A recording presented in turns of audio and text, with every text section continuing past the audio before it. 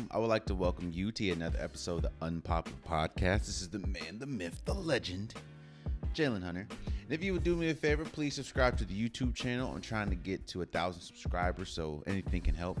It will definitely mean a lot to me. But this is where we'll start. So LeBron James made big news uh, this week when he pretty much commented about the state of the NBA as far as the injuries. As we know, this is a odd year for the NBA, seeing as though, of course, we all just got hit with a pandemic. Hell, we're still dealing with a pandemic, but it looks like we're kind of at the tail end of the pandemic, and well, hopefully, we're at the tail end of the pandemic, and the world has never seen anything like this. And because of that, we had to adjust. This time last year, we didn't have any sports, or sports were just coming back. The NBA had to finish uh, last season in a bubble, which of course resulted in LeBron James and the Lakers winning a championship. And then after that, they had the shortest offseason in NBA history. Then had to come back and play, and now we're in playoff basketball in June. And this will be probably the latest NBA finals I think we've ever had. The NBA finals will probably be in July. Um, so this is this is different, man. This is this is one of the this is strange times. And of course, LeBron James comments stem from, like I said, all these injuries you've seen. Steph has been injured. Kawhi now is injured. Uh, Donovan Mitchell has been injured. LeBron has been injured. Anthony Davis has been injured. There's been so many injuries to big name players, and LeBron James is pretty much saying, you know, I didn't. I said this in the beginning of the season. I didn't. I don't feel we should have been playing uh, because you know, this and the third. He felt because players didn't have time to heal or recover like they usually do. He didn't feel they should be playing. And and I understand. I understand that mindset. I understand that thinking. And excuse me, I understand where LeBron James is coming from in that sense. Athletes, and I've said this before, athletes whether any any any professional athlete or any athlete in general, they are used to a what's the word? They're used to a a system. They're used to a schedule. Their bodies are used to a system and a schedule. They're used to a season usually ending around this time. Training usually starts around this time. Uh, preseason or training camp starts at this time. Because they are so used to that, they've trained their body to be used to that. It's hard when that gets when that so when that gets changed or when that gets forcibly changed without you being prepared for it. Hell, nobody was prepared for it. You were uh, we all remember in the pandemic when everyone was pretty much sent home from work except for essential workers. Shouts out to y'all. Everyone was saying this was going to be a 2-week thing. You know, we're only going to be home for 2 weeks. Everything's going to be back to normal. This turned out to be a whole year thing. So, players and and athletes aren't used to change like that.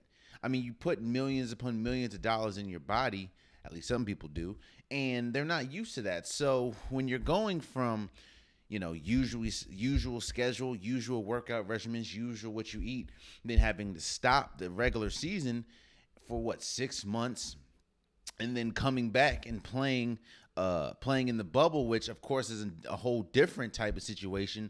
You know, don't have the usual person to person contact that you're used to. Uh, you're, you're uncomfortable. You're in hotels. It's just it's going to change the way your body reacts. It's going to change the way that your body, uh, the way that you train, at least for this point. And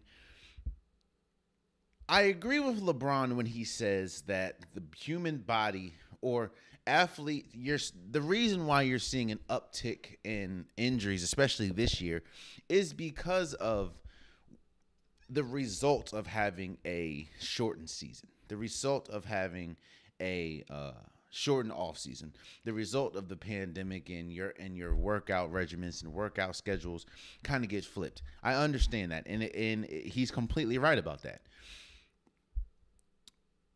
where I feel LeBron James is off. And honestly, he's not off, but he to me I don't believe he's saying what's what's actually happening is money.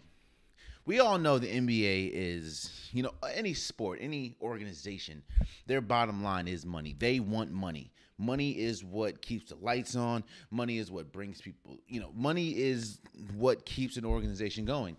And the NBA, the NFL, NHL, uh, MLB is no different. Money is the root of what keeps it going. So, that's the reason why the NBA started the play-in games. That's the reason why the NBA sort of has has has put has put more game, even though the season has has shortened this year. That's the reason why you're seeing a whole bunch of uh, prime time games more than you'd usually see. Is because the, the NBA is trying to recoup back the money that they lost not only when the season regular season stopped in the six months, but most of the most of this season, a lot of the most of the teams didn't have fans, and there was no fans in the bubble. So, and how much money the bubble cost being in Orlando. So it it costs money, and the reason why I believe, I don't know, but the reason why I believe that the players all pretty much said, you know, okay, we'll play, is because they knew the ramifications if they didn't play this year. If the NBA didn't play this year, that means they would have had to, the player association and the NBA bargaining agreement, they would have to pretty much throw that away because it wasn't, it, it wasn't, um, it wasn't honored. You'd have to throw that away and start over. With that happening, more than likely there would have been a strike. And if there would have been a strike, that means there would have been no season this year and maybe even next year. So that means altogether, if the season did not happen this year, there could be a chance there could have been a chance that we would have gone two and a half to three whole years without seeing any NBA basketball. Not only does that just cripple the NBA financially, but there's players there now. I'm not I'm not coming at LeBron. I'm not coming at stars, but there's players that don't make star money. There's players that make now understand that five hundred thousand dollars is hell. If I had five hundred thousand dollars, that would change my life. But NBA players, they live differently. They live to the means that they uh, you know can afford. So there are some people in the NBA that don't make millions upon millions upon millions of dollars, and they need these. Sh- I know it's surprising, and when I first heard it, I was shocked. But there are players that live paycheck to paycheck. Now I understand their paycheck is crazy, but they live paycheck to paycheck, so they need this money. So imagine not seeing LeBron. Imagine not seeing Steph, not seeing Dame, not seeing KD, not seeing any of your favorite players for two and a half to three whole years because they can't get the bargaining agreement right, that they're going to have to start over. Yes, I understand that at the end of the day, players' safety is the biggest thing. And there's a lot of these injuries that we've seen that to me are just freak incidents, like the, the, like the Steph Curry tailbone injury. To me, that's a freak incident. No one expects Steph Curry to fall and land and hit his tailbone on the bleachers. That that's a freak incident. LeBron James, freak incident. Nobody expects Solomon Hill to dive at the ball and miss the ball completely and hit LeBron James' ankle and he gets a high ankle sprain. That that's a freak incident. But there are some, you know, there are some players like like what we're seeing with Joel Embiid and the meniscus. I think that is we'll talk about a little later, but you know, Anthony Davis and and what we're seeing with Kawhi now. LeBron James is right in a sense of a lot of these injuries is due to a shortened season, uh, due to a shortened off season. I'm not gonna say shortened season, due to a short shortened off season. LeBron James is absolutely correct about that. But what I think LeBron James, I think he understands, but he failed to mention is the reason they had to play, or we, or they would go a while without seeing basketball. So then after that, it's like, imagine if there was no basketball this year or next year or the year after maybe. It's like how much revenue and money would the league lose? I'm not saying that there would be no basketball ever, but I don't know if the NBA can recover from not having basketball for two and a half years, maybe three. I even with some of the big stars, I just don't feel that the NBA can recover. At the end of the day, yes, the NBA is big and the NBA has grown since when it started. Of course, you can thank uh, Michael Jordan era and the Olympics.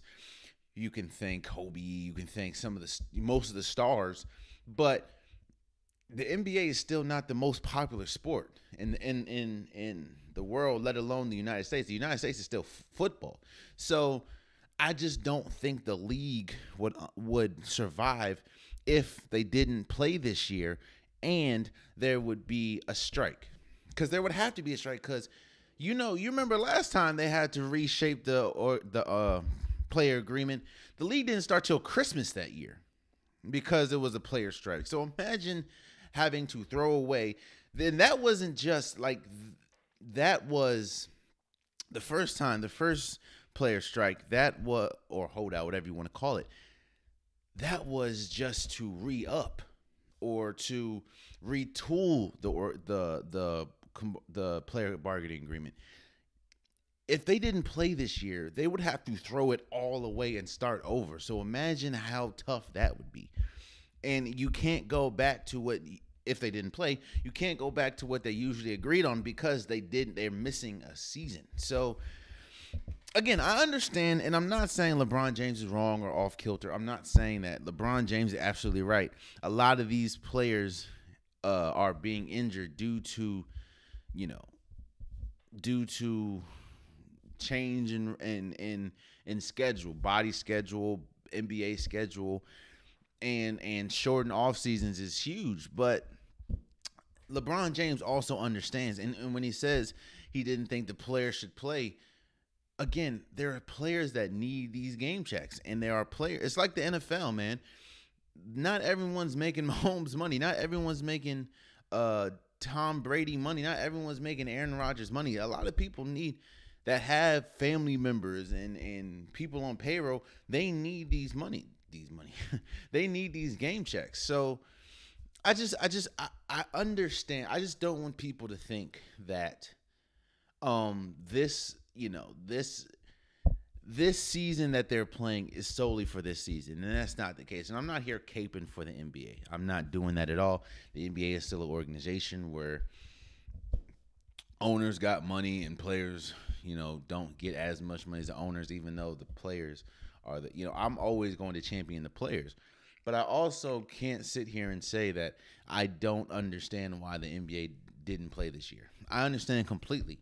In the NBA, understand like LeBron James has to understand. That's why he was I remember he was saying, you know, they shouldn't play and then quickly before the season was like, you know, we should do it. And I always I also wonder, will LeBron James feel this way if he was still playing? Now again, I'm not here bashing Bron, but would LeBron James still feel this way if he was playing? Or if AD never got hurt or if he never got hurt. You know, so I just, you know, I, I understand it. I understand it, but it, it, it's it, it is what it is and this is it's solely a money play, but it's a money play not for just this season. You know, there again, players live check to check.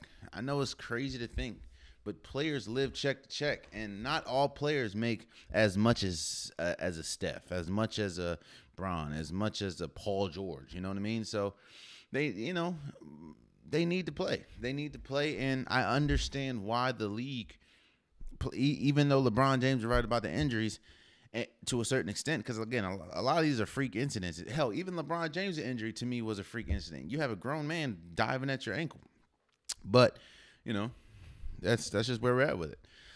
Uh, moving forward, and one of the biggest, um, one of the biggest news or stories that hit yesterday was the Boston Celtics traded Kemba Walker and the 16th overall pick to OKC for Al Horford, Moses Brown, and a couple draft picks. first and foremost, it's crazy that this is um, Brad, you know, Brad Stevens, who is now the newly elected GM of the Boston Celtics. It's crazy how this is his first move is to trade Kemba. I think that's crazy, man. But let's talk about it, man. First and foremost, um I don't. I, it, it always feels weird. Like people always look at trades and um, they always look at the immediate or like who wins, who you know, who wins, who loses the trade, this, that, and the third.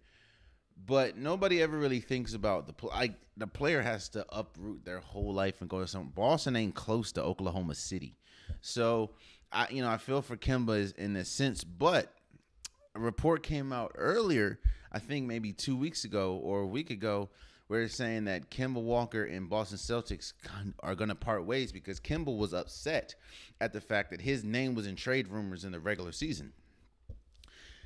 Let's let's we have to have a you know let's I always say we need to have a serious conversation. We're going to have a serious conversation about Kemba Walker right now.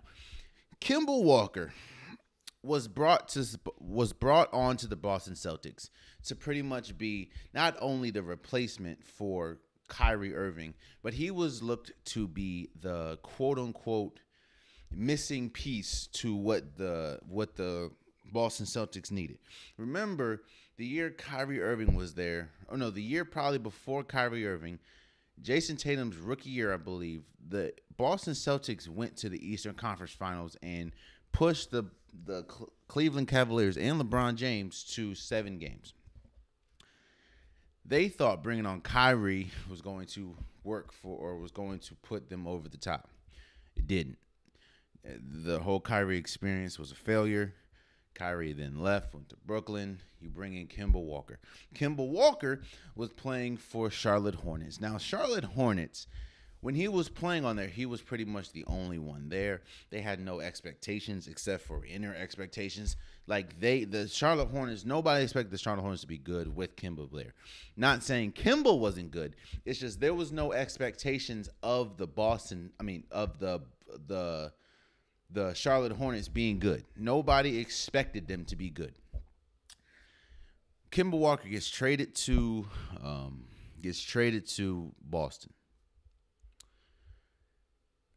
Ever since Kemba Walker has been in Boston, he's had a litany of injuries. He's had a litany of shooting slumps. He's had a he's had a litany of um, bad games. And when expectations are when heavier expectations are putting your body putting your body when heavy when heavier expectations are putting your shoulders your your welts start to start to shine a little more than usual. What one thing that we knew about Kemba Walker, even when he was in Charlotte, is that Kemba Walker is not the is he's a volume shooter, meaning when he's on, he's on. But when he is off, he is off. And even with all that volume shooting, he's not the best three point shooter. And not only is not the best three point shooter, he's not a consistent shooter, period. Like, don't get me wrong, Kemba Walker is an incredible offensive talent. And I'm not here to bash Kemba Walker. I'm not here to, you know, Kemba Walker is a great player. It's just he is an inconsistent shooter. He was inconsistent in Charlotte. The problem was, again, there was no uh there were no expectations of for them. But because there was expectations in Boston, Kemba Walker just hasn't lived up to those expectations because of the type of player that he is. And there's nothing wrong with that. There's, you know, he's he's not a, he's not the most consistent player either. Your your best ability is availability, and he has been injured a lot for the Boston Celtics, especially last year or this year.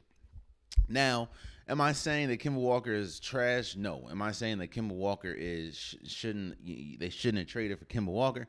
No. But what I'm saying is they expected Kemba Walker to be the missing piece or the the the missing link to put them over the top, especially in the East. In the East that, you know, was at the time that he first got there was in in flux, you know. It's like what was what were the Phoenix What were the Philadelphia 76ers going to do? What was Brooklyn going to do? What was, you know, the Cleveland Cavaliers going to do because they had LeBron at the time. He he it just it just hasn't worked out. I don't know if it's because of injuries. I don't know if it's just because he hasn't really gotten better. Now again, there have been Kemba Walker's had some incredible games. He's had some incredible games, but they have been far and few between. He'll have a 35, 40 point game, and the next game he'll have 15 and go like three for 18 or something. Like that's just who Kemba Walker is. Now, we also I, am not here to just I'm not here to bash Kemba Walker. I'm just telling the truth about Kemba Walker. We also need to tell the truth about the Boston Celtics. The Boston Celtics uh, the Boston Celtics rides. I I don't know. Okay, so the Lakers and the Celtics pretty much, even though Lakers have a, a have a, a recent championship. Let me just stick with the Boston Celtics. The Boston Celtics ride too much on past success. I understand you had Bill Russell and and K.C. Jones and and and, and Bob Cousy. I understand you had that success. You know, some you know one of the most decorated teams uh, in NBA history, in sports history. I understand that. And then of course you had the Ray Allen. You had the one championship with Ray Allen, uh, Kevin Garnett, and and Paul Paul Pierce. I understand that. I understand that. But there has been an unrealistic expectation. I don't know if it's due to fans. I don't know if it's due to the media, but there's always been an unrealistic expectation when it comes to the Boston Celtics. People expect the Boston Celtics to just be championship contenders year after year, and that's that is not the case. They, I mean, yeah, Brad Stevens was an okay coach, but he's more of a player development coach over an actual like X's and O's head coach. He will develop the hell. I mean, look at Jaylen Brown. Look at Jayson Tatum. He develops players incredibly. And that was one of his strengths back in, when he was a Butler head coach. You know, Gordon Hayward getting two Butler teams to the national championship. Teams that shouldn't I mean, yeah, Sheldon Richardson, I believe his name was. Like getting two teams to the national championship that didn't deserve to be or deserve to be there, but no one expected to be there. Brad Stevens is a great developing coach, but when was he a great coach as far as getting you over the top? I, I didn't see it. Now, am I saying he was a bad coach? No, but getting you over the top, I didn't see it. So people have an unrealistic expectation of what the Boston Celtics should be. People think because of their history, because they're Boston, they should always be title contenders. And honestly, to be quite honest with you, they have not been that since. Now, I understand that Eastern Conference, uh, the Eastern Conference finals appearance a couple years ago refueled that flame and how great Jayson Tatum's been has refueled it, how great Jaylen Brown has been has refueled it. But the Boston Celtics are nowhere close, in my opinion. They have great players, don't get me wrong. But I wouldn't pick them. Oh, and we'll talk about it a little later. I wouldn't pick them over the Sixers. I wouldn't pick them over Brooklyn. I wouldn't pick them over. Lot, hell, I don't know if I'd pick them at least this year over the Knicks. It's just there's been an unrealistic expectation that comes with Boston because of what they did in the past before a lot of people were even born people automatically expect them to be title contenders and i think going to the boston celtics that unrealistic expectation is put on your head like Kemba Walker to me is not a championship caliber player but he's a great player. But going to Boston Celtics, people automatically think he should be a title contender.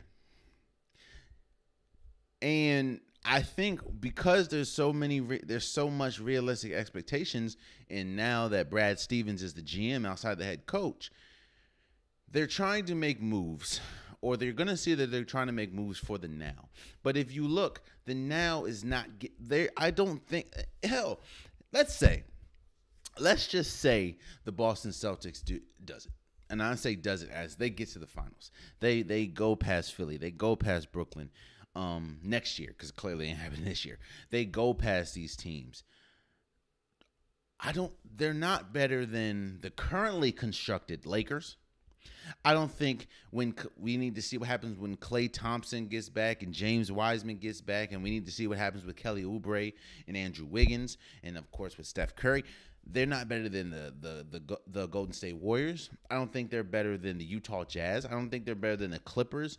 Uh, I don't think they're better than I mean, you can kind of give Portland a run for their money. Like, I just don't. They're not. They're not championship caliber. They're not a championship caliber team, and they haven't been a championship caliber team since 2008 when they won it, and that was it.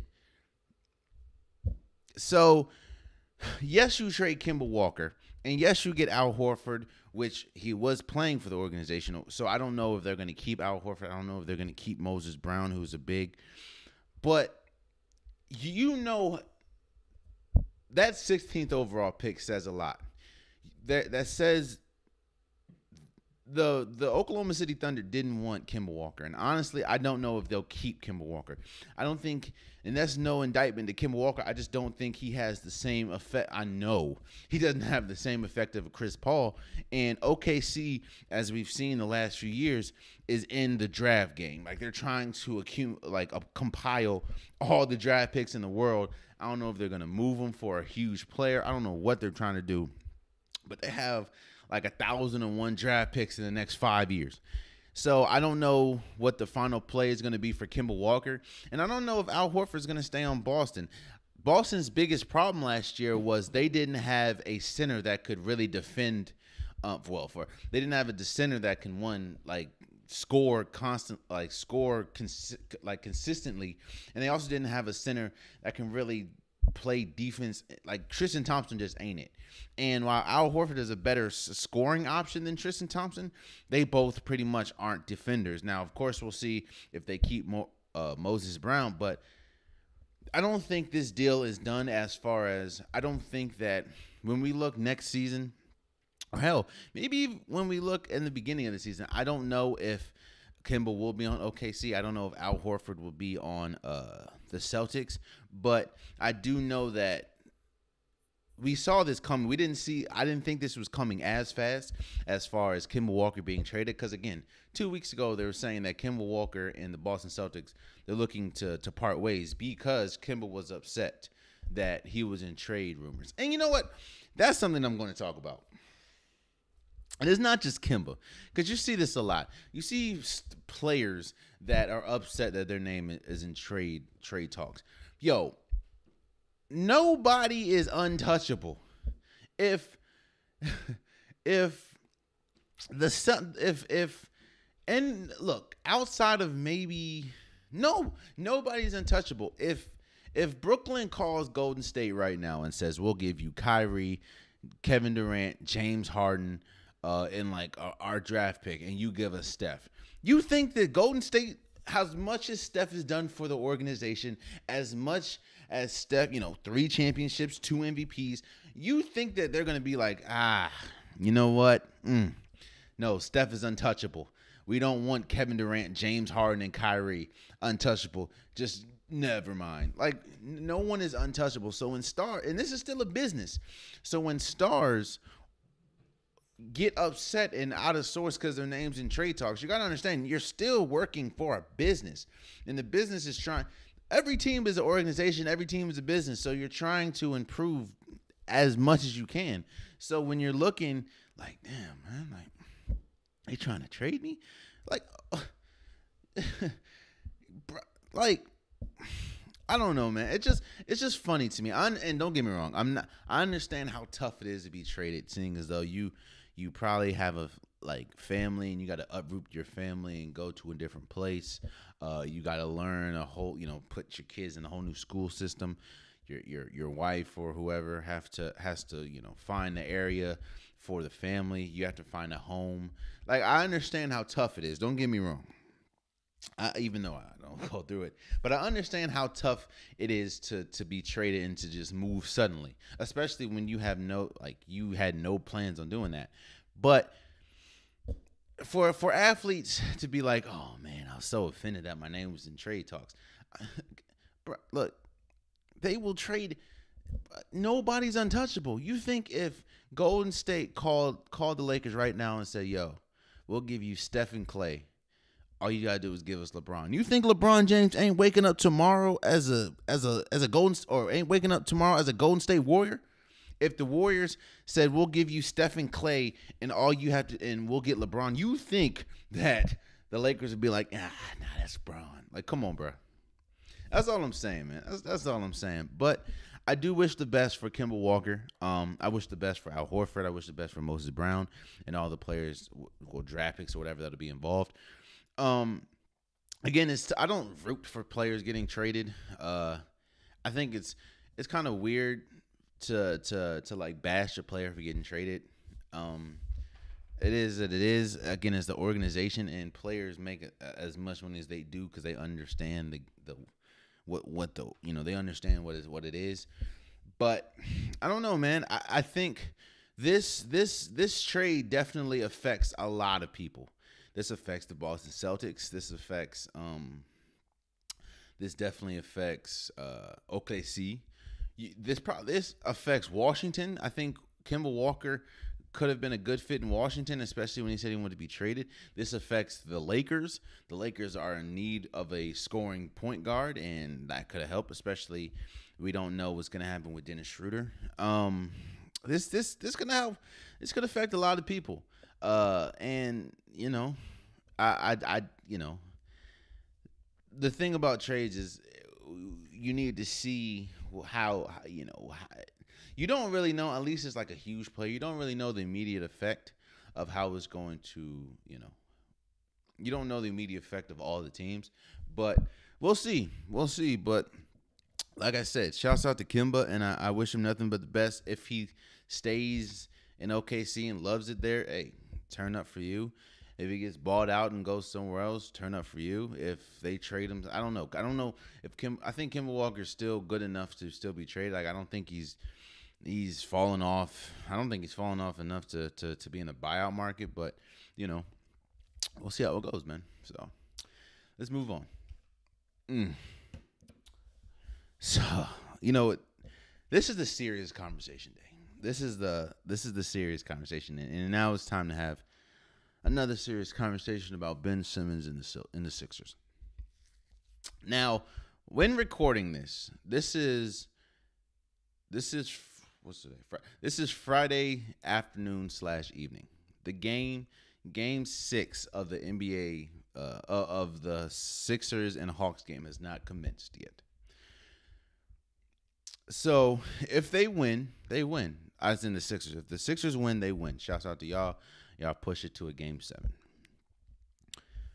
But I need and and if Ben Simmons goes off for 40 or whatever, hey, good for you. But You ever have a friend, a friend that you see he or she just does some wild stuff constantly, but it's like they do it in spurts, but it keeps happening. And it's just like, I mean, it's like you try to convince yourself, you know? You know what it is. Boom.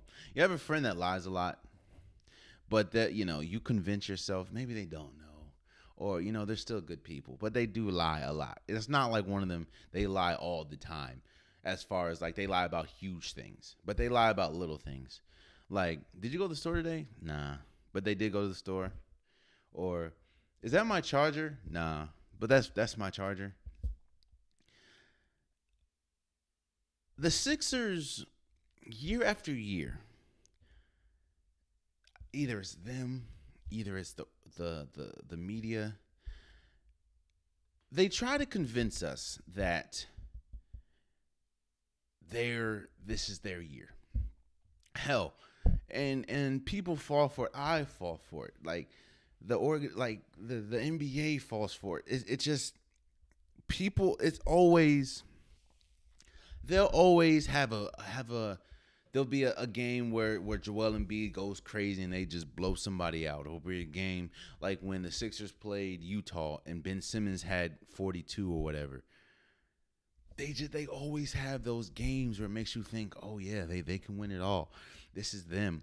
But then they have games like what happened in game four and game five when they're up big In Game five, they were up what eighteen points? No, game four they were up eighteen points against uh, Atlanta uh, Atlanta Hawks in Atlanta and lose that game.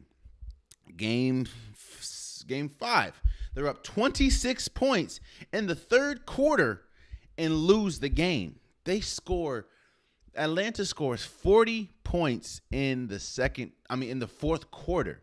And in the whole second half, only Joel Embiid and Seth Curry were the only players to score a field goal.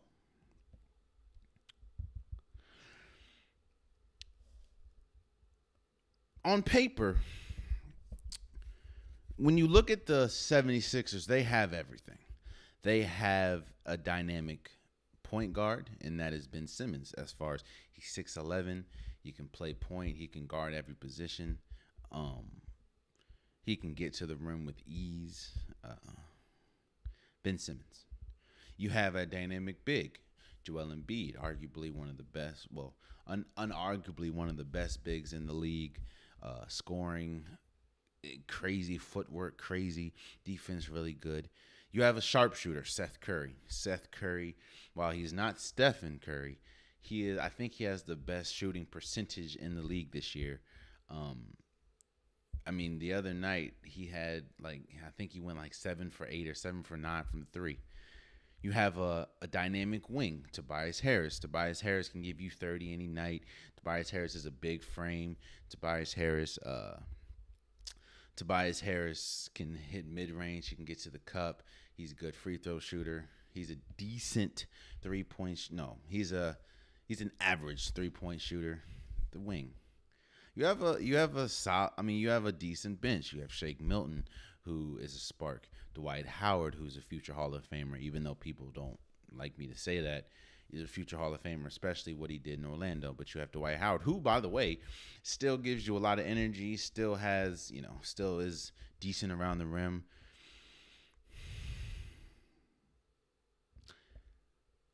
But that's what they always have.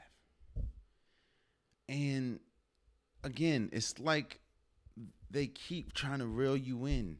If you look at the 76ers on paper, they are a championship team. They they they have all the pieces of a championship. They have all the big names for a championship. But let's let's go back.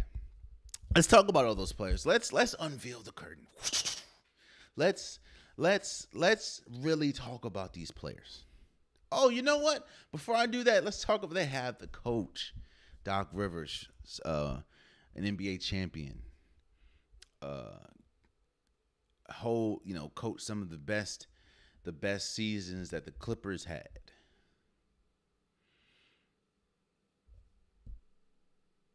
Now let's again, now now let's unveil. Let's talk about everyone we just talked about. Let's start with Ben Simmons. Probably, arguably, one of the worst three point free throw shooters in the league. Hasn't doesn't even he's so scared and and cannot shoot so bad that he doesn't even attempt jump shots. He doesn't even want the ball in the fourth quarter because he's not he's not confident with himself making the free throw because he's not good at free throws. That's Ben Simmons. Joel Embiid, incredible talent. Incredible talent. People can argue that he is the best center in the league, yet he cannot stay healthy. Year after year after year, he continues to get hurt. And honestly, it's usually lower extremity, either leg, ankle, foot. It's, he's always getting hurt. Tobias Harris, the most inconsistent player ever, bro. One game he'll be incredible, give you 30, be the reason why you won. The next game he doesn't he scores 4 points and doesn't score in the second half of the game. Seth Curry, incredibly good shooter, has a good ball handle, doesn't play a lick of defense. Hell no, Curry plays defense, but doesn't play a lick of defense. Dwight Howard, not the Dwight Howard of old. Comes in the game and it seems it seems like every time Dwight Howard gets in the game, he does a stupid foul, and then you look up like, damn, Dwight Howard's only been in the game for six minutes and has three fouls, and those three fouls put the other team in foul, like put the other team in the bonus. Doc Rivers, I think he's lost 11 games where he's been up 15 or more points. 11 in the in the postseason. I think that's the most in NBA history. I can keep going. Shake Milton, he's he's he's he's an average player. He has some good moments, but he's still a bench player. It's like this team they they keep it's like the Corvette, man. The Corvette is a beautiful beautiful car. You can you can get a great paint job. You can get oh man, you know, you can you can get the the nice rims you can get the mu- the the muffler that's a, like you can get that junk. But at the end of the day, you can't use the damn car in the wintertime because it's not a winter car. It's like year after year after year, when you look on paper, you look at the the the and, and even some most of the time in the regular season, you look and it's like this team should be good enough this team is good enough. Well, let me say this. This team should be good enough to contend for a championship. But then you see they have games like game four and game five against the Hawks. And don't get me wrong, the Hawks are an incredible team. The Hawks are a young, scrappy team with a young star in Trae Young, with a young rising star in Joe and, and John Collins, with a good shooter in Bogdanovich, with with with a good veteran in Gallinari and Lou Williams. Like they are a good team, but they should not, and I mean should not, be up three two as we speak against the number one overall seed in the East that has an MVP caliber player. He Joel Embiid finished second in MVP, first team All Defense. Ben Simmons finished second in Defensive Player of the Year, first team All Defense. Matisse Thybulle, who by the way I didn't mention, incredible defender.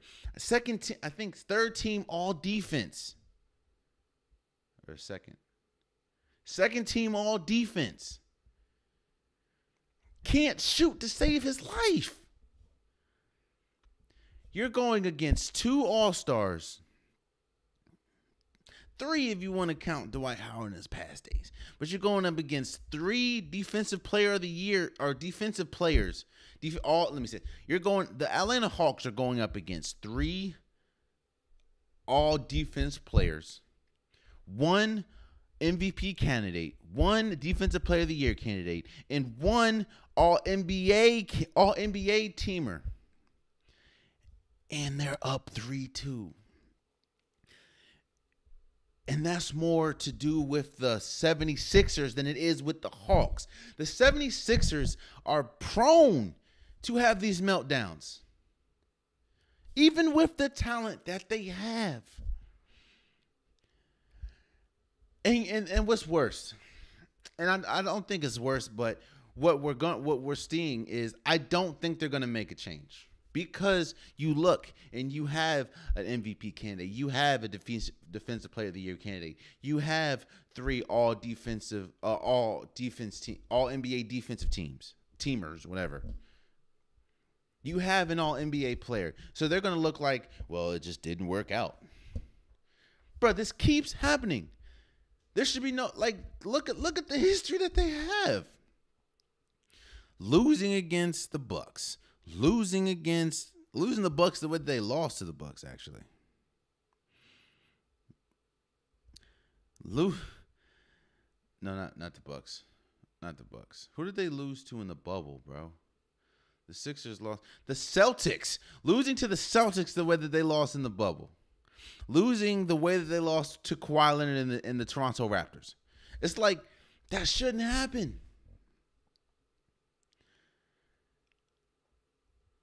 I said this before, and I'll and I'll conclude this part with this.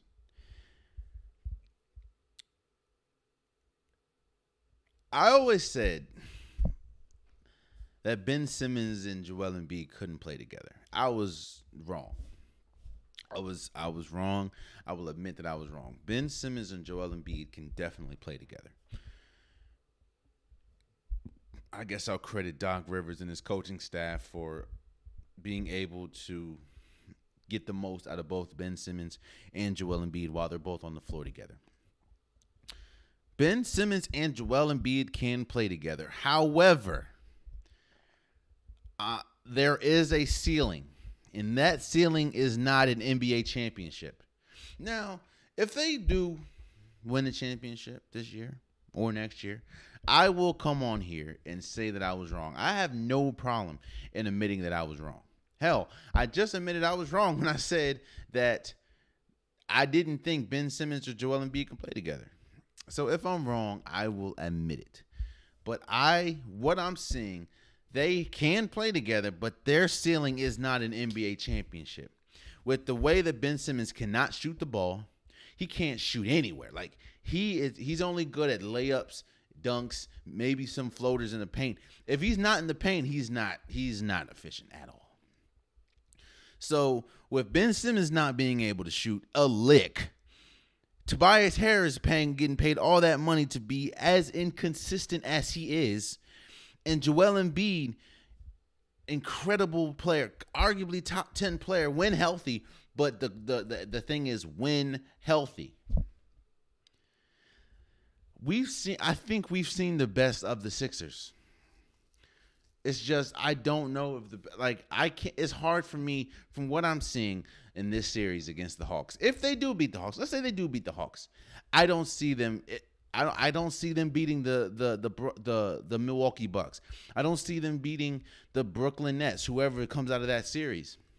And if they make it to the championship, I don't see them beating anyone in the West because they're not consistent enough. Quite as arguably, to be completely honest, the Atlanta Falcons, the Atlanta Falcons, the Atlanta Hawks is the worst team in the playoffs right now. Remaining in the playoffs, not in general, but remaining in the playoffs. And you're about to, you're having the, you're in a dogfight with them. Atlanta, the Atlanta Hawks is they're not the Milwaukee Bucks. They're not the the the Brooklyn Nets, especially if the Brooklyn Nets get Kyrie back. They're not the Utah Jazz. They're not. Well, of course, we have to see what happens with Kawhi, but they're not the Clippers. They're not the Phoenix Suns. So, man, look, the the the they have some good talent, man. The Sixers, Ben Simmons is a good talent.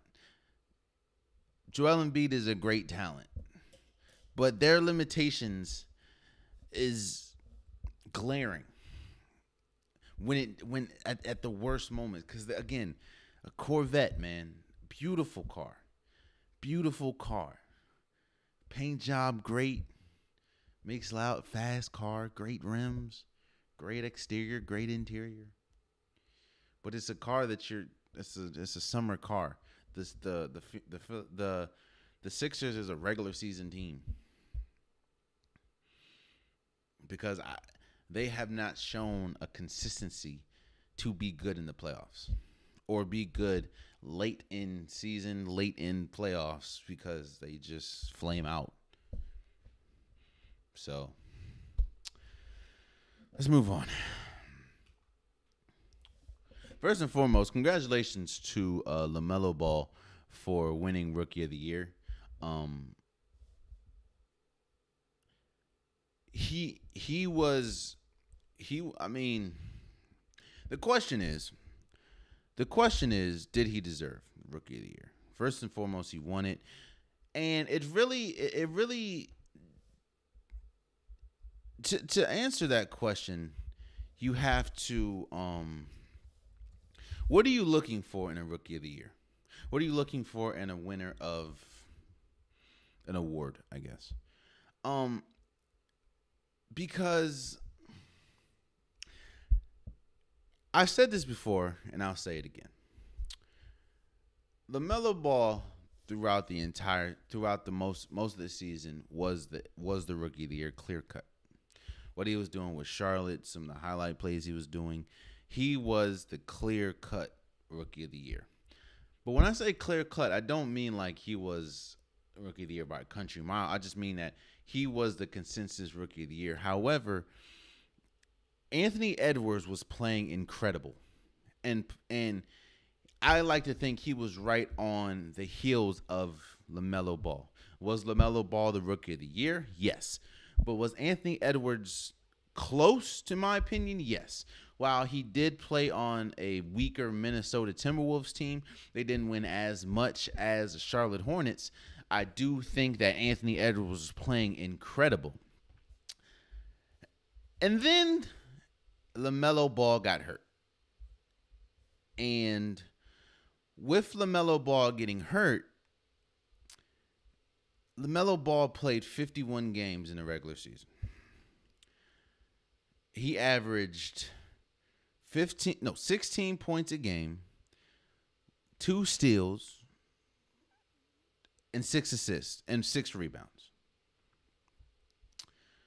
Those are incredible numbers for especially a rookie.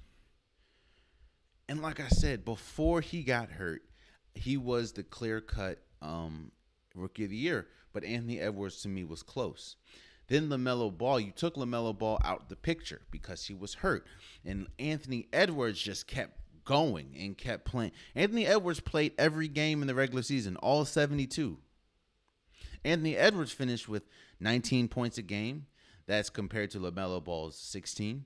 He finished with one steal a game, which is compared to Melo Ball's two, three assists, and five rebounds. However, he was available for 72 games. LaMelo Ball was available for 51 games. And LaMelo Ball had the ball more than Anthony Edwards because he was the point guard. Even though towards the end of the season, Anthony Edwards, Anthony Edwards, even with a Karl-Anthony Towns on the team, was the go-to guy. Shouts, I mean, congratulations to LaMelo Ball. I'm not saying he didn't deserve it, but what I'm saying is with LaMelo Ball going out and Anthony Edwards playing 21 more games than LaMelo Ball and being incredible, I just think that maybe Anthony Edwards may have deserved it more. Don't get me wrong, LaMelo Ball is an incredible talent. And I think LaMelo Ball will be incredible for the league for a long time. And I think Anthony Edwards is an incredible talent. And I think he'll continue to rise and he'll continue to be great for the league. But I just think that Anthony Edwards, to me, because he was available for 21 more games than uh, LaMelo Ball, because he averaged more points than LaMelo Ball, and because I feel that he was close to LaMelo Ball in Rookie of the Year when they were playing, and then LaMelo Ball got went out, and Anthony Edwards kept going and kept being incredible. And when, of course, LaMelo Ball came back, he was still great. But I would think, I thought that Anthony Edwards kind of surpassed him at that point because he didn't miss time. So, you know, I. I don't, you know, I, I'm not hating on LaMelo Ball. I think LaMelo Ball you know, I'm not mad that he won Rookie of the Year. I just think that, and it kind of goes back to the conversation that we have with the MVP. It's like, I'd like to think now. I think Nikola Jokic deserved the MVP, yes, but I think that this year they rewarded him mostly because of one what he did with Jamal Murray being out, and of course leading the Denver Nuggets to the third seed, or yeah, third seed.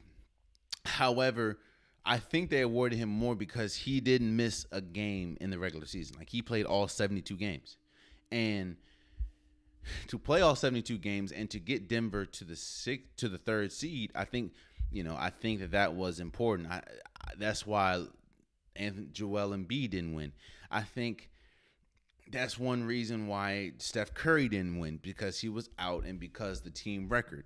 It's like just like how we have to decide how we're going to vote and how we're going to continue to vote for the all for the for the MVP Same thing with the rookie of the year. Are you going to vote someone that may be the more flashy player, maybe brings more tickets to the or tickets to the the NBA's pocket, brings more fans to the team, the team with a better record, or are you going to are you going to um give the rookie of the year to a player that's actually had the better rookie season, in my opinion. And that was Anthony Edwards, in my opinion. So shouts out to LaMelo Ball. Not saying, you know, I ain't hating.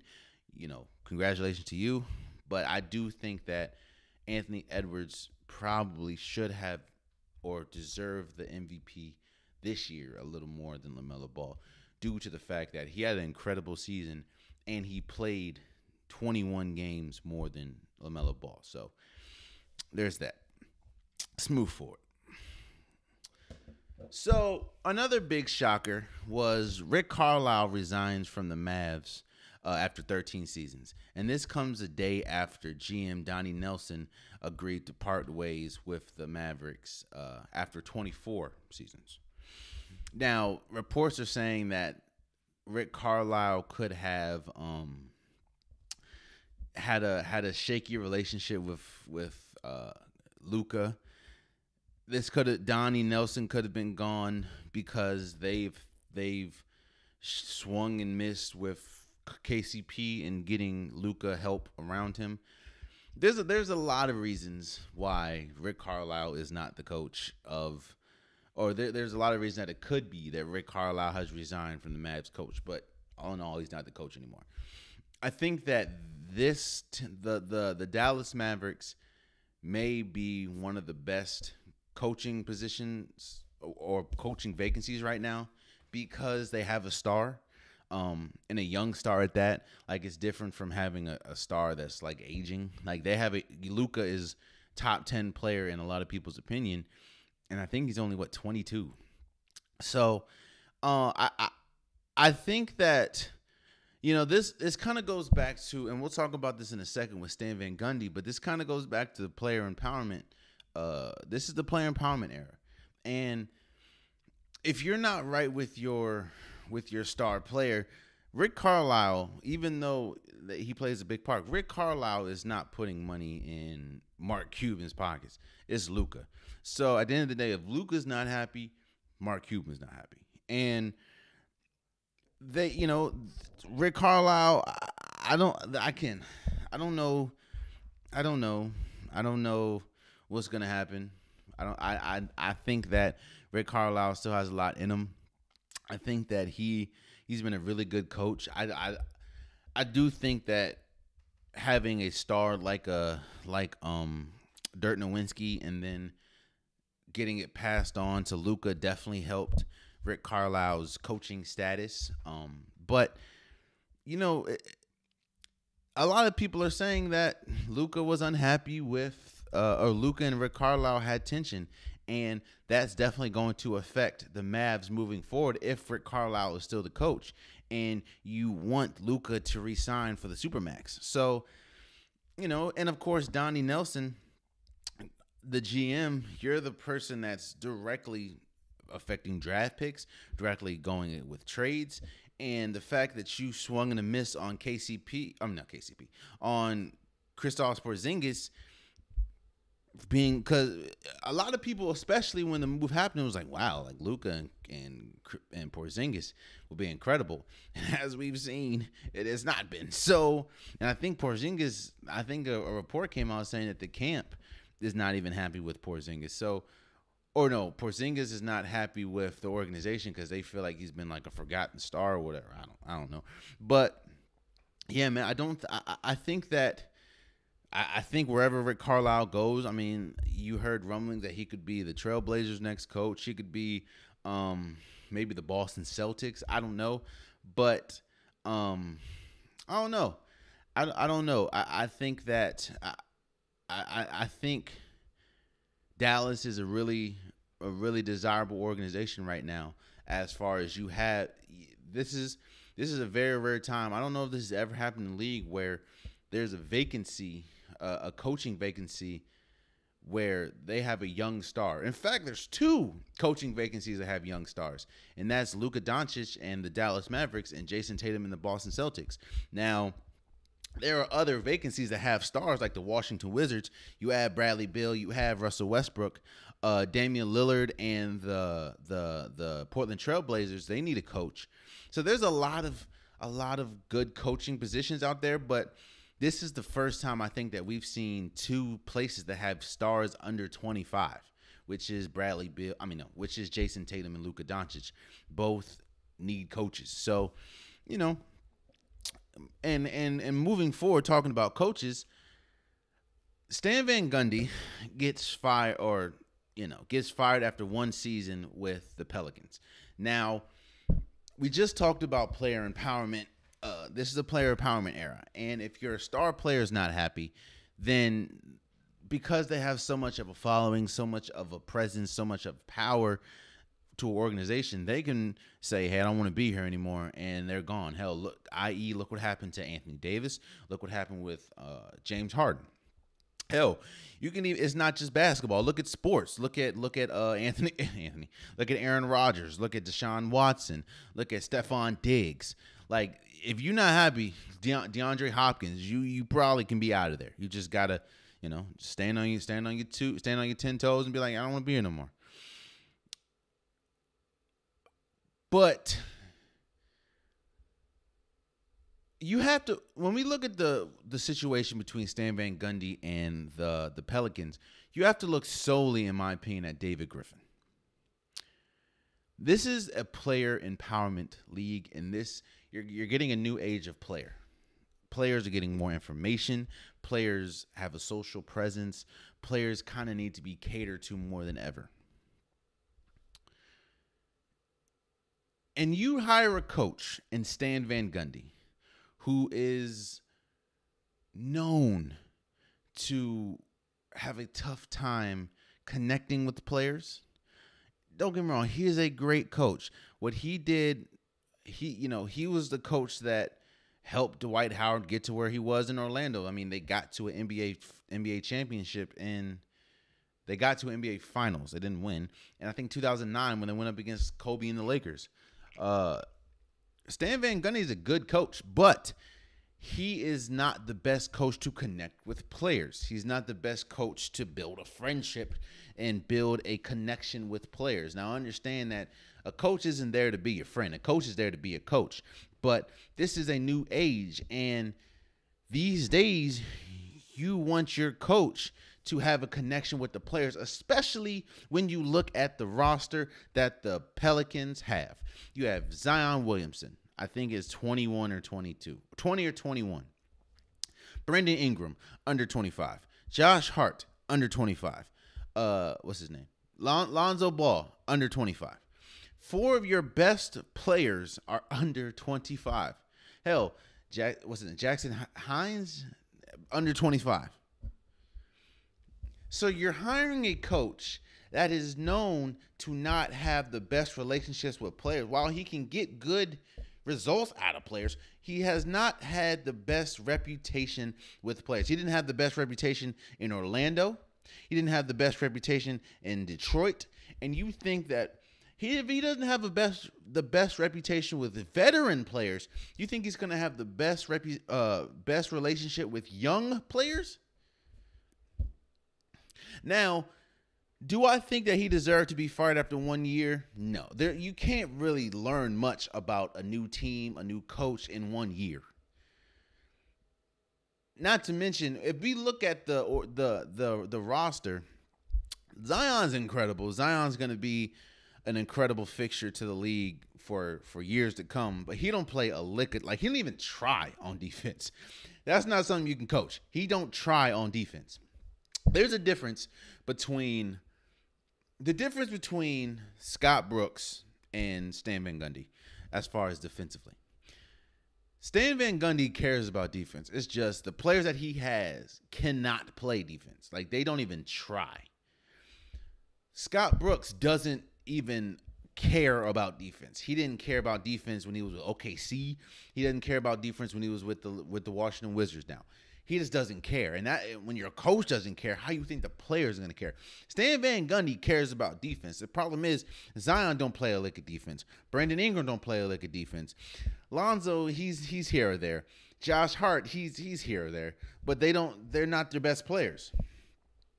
So, in in an era where you know players are are are are have more of a voice and everything, I wasn't surprised to see that. Um, I wasn't surprised to see that the Pelicans let go of of Stan Van Gundy. I do think that it was a little too early though, because you can't learn much about a new team and a new coach in in a year. Like it just you know, you know. I understand if the players, you know, if he couldn't connect with players, I get that. And and then in that case, then maybe you know it, it shouldn't. If the players are saying, "Yo, we don't want him as a coach," I get that. But then you also have to look at David Griffin. David Griffin, like, why would you hire a coach that is known to not be not do well with interact not he was never good at connecting have that person to person connection with players he didn't do it even even with stars. He didn't do it with Dwight Howard. He didn't do it with Blake Griffin when he was in Detroit. He like why would you hire a coach for a young team when if he can't even connect to veterans, you think he's going to connect to these new age players? Doesn't make sense, man. And lastly, I want to say first and foremost, um, Naomi Osaka, who is the world's number two uh, number two ranked tennis player, withdraws from Wimbledon. Now, this comes off of the heels of, of course, her withdrawing from I don't was it the French Open? I think it was the French Open because she uh you know, she she stated mental health and not wanting to communicate with the media. They were saying that they're going to fine her um, every time and then if she keeps doing it, they might like disqualify her so she just, you know, said, forget it, I'm out. And then now she withdraws from Wimbledon. And of course, she states that uh, it's due to mental health. Uh, she she wants to get away from the game, be with friends and family, get her mental health back right. And man, oh man, people are going crazy. Like people are so upset with this. Per- like she, they are killing this girl like hey you know you get paid all this money um and then you want to this that and the third. Shouts out. Congratulations and i'm i'm happy for naomi osaka for understand and i talked about this when i talked about it before but understanding that money is not the most important thing. I understand people that have no money hell i have no money. I understand that people that have no money their pursuit is to get money and they because their pursuit is to get money so bad, they're they're they're willing to just push a lot of things aside. Mental health, current living situation. I get that. But the fact that she is is putting her mental health first, I love that. I love that and that's so important. And who cares what other people that have absolutely nothing to do with your life says about you. If they don't know how you are when you wake up in the morning and rub your eyes and hopefully get with the Lord before you make your day or before you go about your day, if they don't have a say in that, you should you don't have a say in my life, you don't have a say in her life. So shouts out to her, man. And Wimbledon, this is gonna be huge for women. Like they're going to take a huge hit. You talk about player empowerment, and the number two overall player does not to withdraws from the entire the entire tournament. Like that's crazy. And hey, she she has every right to do that. And I'm you know, shouts out to her. So I'm not upset. And keep doing what you're doing, Naomi Osaka. We are with you. I think that she says that she's she's gearing and and shooting for the Olympics to to to play in the Olympics. I think she'll represent Japan because she is Japanese. Um, but hey, do what you want to do, man. Ain't nobody else. Look, who who gives a damn what people have to say, man? If they if they don't if they don't tie your shoes, if they don't pay you, if they don't don't pay you, if they don't if they don't have any bearings in your life, who cares what they say, bro? And I, I think she knows that. Hey, it is what it is. So do what you got to do, man. Congratulations to her, and I hope that she is able to um she's able to take the time that she needs to get her mental health to where the way where she wants it to be.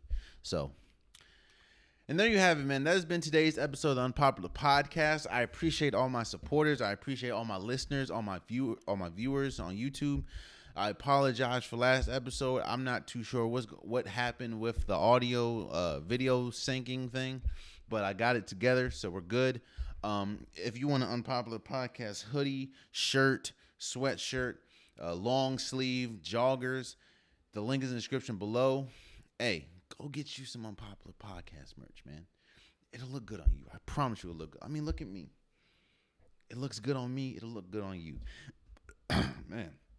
But uh I appreciate you guys. I love you guys. Please subscribe to the YouTube channel. I'm trying to get to a thousand subscribers, so it would definitely mean a lot. And uh, until next time, much love.